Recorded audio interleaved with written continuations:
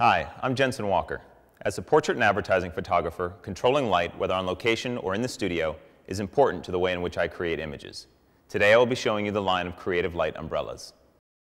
Creative Light umbrellas are simple light shapers. They are extremely portable and easy to set up, making them ideal for location work and any time you need to set up quickly. Creative Light offers four types of umbrellas in three different sizes. White umbrellas produce soft diffused light and are often used as main and fill lights. In addition, multiple umbrellas can be used to light large backgrounds. Silver-lined umbrellas create a crisper, more contrasty source. They're primarily used as main lights and sometimes fills. Translucent umbrellas are designed to shoot through to provide a more directional light, which makes them perfectly suited as main lights. The fourth design is a white-lined umbrella with an additional layer of diffusion on the front, which functions almost like a collapsible softbox. It provides the softest light, making it ideal for the main.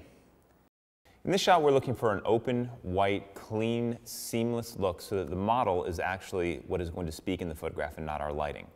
In order to achieve this, we lit our cyc with four 105 white umbrellas set in two tree formations.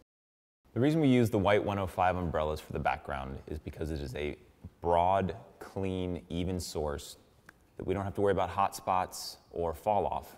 One of the added benefits of creating an open white space like this is that your model can essentially move all across the cyc or the seamless without ever having to fall out of or into shadows that you weren't planning on. Yeah, we got it. Creative Light umbrellas are the simplest lighting tools available.